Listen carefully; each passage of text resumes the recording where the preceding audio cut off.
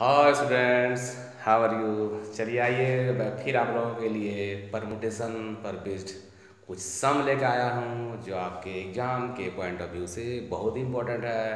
तो आइए बच्चों, बिना समय गवाए सवाल करते हैं। एक बात और, मेरे चैनल विजय सर देवघर को ज़्यादा से ज़्यादा दोस्तों में शेयर कीजिए, इसे लाइक कीजिए और इस चैनल को सब्सक्राइब ज़रूर कीजिए। और बेल आइकन को दबा दीजिए, ताकि जैसे ही मैं इस तरह का वीडियो डालूं, आप तक इन्फॉर्मेशन पहुँच जाए। तो आइए बच्चों सीखते हैं परमोटेशन का एक इम्पोर्टेंट सवाल।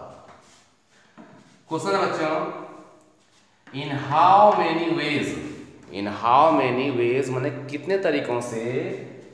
सिक्स मैन, छह पुरुष, एंड फाइव वोमेन। पाँच औरत can be seated at a round table. छह पुरुष और पाँच वोमेन को एक राउंड टेबल में कितने तरीका से बैठाया जा सकता है? इफ़ अब यहाँ कुछ कंडीशन दिया गया है। क्या कंडीशन है बच्चों? There is no restriction there is no restriction मैंने बैठने पर कोई प्रतिबंध नहीं हो। कहीं भी कोई बैठ सकता है। मैंने कोई प्रतिबंध न हो। वही कहा देयर इज़ नो रिस्ट्रिक्शन दोनों बच्चों दो नंबर है। All the five women sit together और क्या दिया गया है? पहला क्वेश्चन में करा था, कहीं भी कोई बैठ सकता है, कोई रिस्ट्रिक्शन नहीं है। दूसरे में कंडीशन दिया गया है कि पाँचों लेडीज़ जो है, औरत जो है, साथ में बैठना है। उन्हें साथ में बैठाना है। और थर्ड बच्चों all the five women do not sit together तीसरा में कह रहा है कि ऑल द फाइव वोमेन मैंने पाँचों औरत एक साथ न बैठे। क्यों नहीं बैठे पता है ना? नहीं बोलेंगे। समझने वाला समझ जाता है। आइए बच्चों लिखते हैं तो बच्चों कैसे बनाते हैं? देयर इज़ नो रिस्ट्रिक्शन तो जब बच्चों जब लिखा रहे देयर इज़ नो रिस्ट्रिक्शन तो वहाँ पर हमको देखिए कैसे करेंगे वो देखिए मैन कितना है बच्चों? एम ई एन सिंगल एगो रहता था होता है एम ए एन क्योंकि एक से ज़्यादा है, इसलिए एम ई एन मैन का पुलरा होता है मैन कितना बच्चों? छह. Women W O M E N same women के लिए भी लिखे हैं यहाँ पर. प्लूरल हो गया बच्चों? अब हमें क्या करना है बच्चों? टोटल कितना हो गया? देखिए तो. टोटल पर्सन कितना हो गया? छ प्लस पाँच यानी कि ग्यारह। कितना बच्चों? ग्यारह हो गया, ठीक है ना? तो जब कोई रिस्ट्रिक्शन नहीं हो if there is no restriction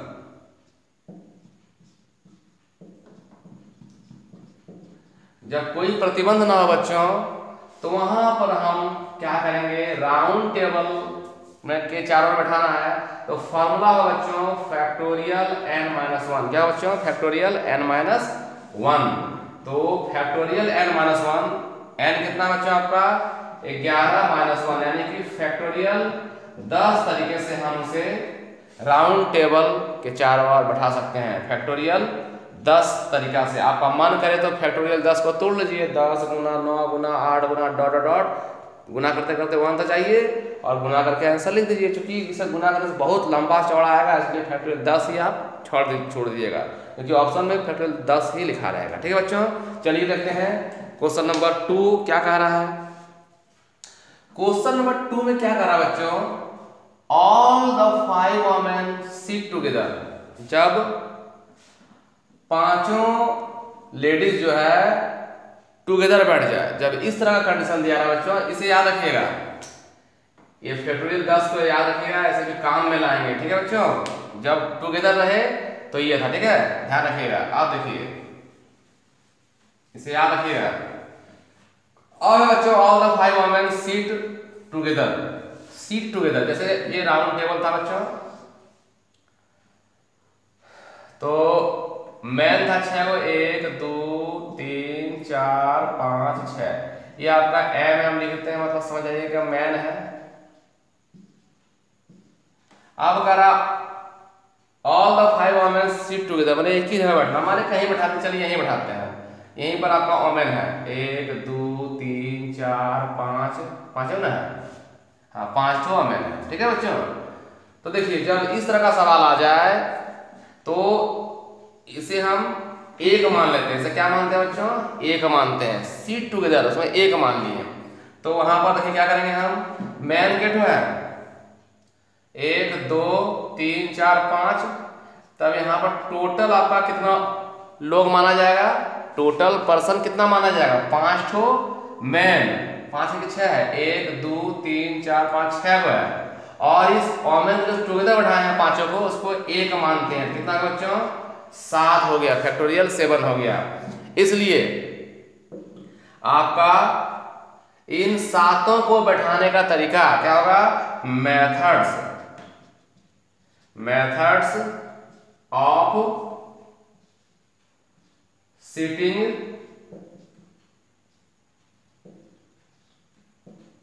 क्या बच्चों? फैक्टोरियल सेवन सातों को बैठाने का तरीका क्या बच्चों? फैक्टोरियल सेवन अब देखिए बच्चों, एक तरीका, एक चीज़ और छूट गया। ये ओमेन कितना है? ये तो है पाँच गो। लेकिन हम इस ओमेन को यहाँ ले आ सकते हैं, इस ओमेन को यहाँ ले आ सकते हैं, या दूसरे वाला को पहले स्थान में ला सकते हैं, पहले वाला को दूसरे स्थान ला सकते हैं, पहले वाला को तीसरा में, तीसरा वाला को दूसरा में, चौथा वाला को तीसरा में, चौथा वाला पहला में, किसी भी जगह बैठा सकते हैं। मतलब इस जो पाँच गो लेडीज़ है इस पाँचों लेडीज़ को भी हम फैक्टोरियल पाँच तरीका से बैठा सकते हैं। आप लिखेंगे बच्चों methods methods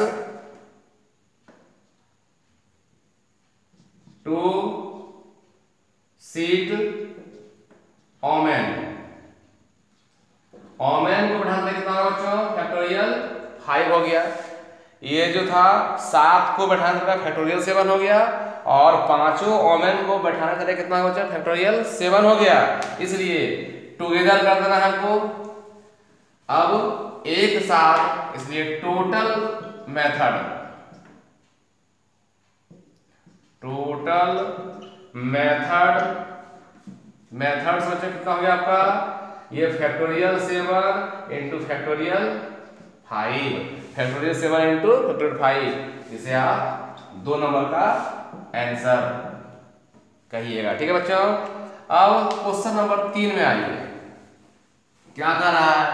All the five women do not sit together यहाँ पर जब कोई प्रतिबंध था सबको एक साथ बैठाए थे।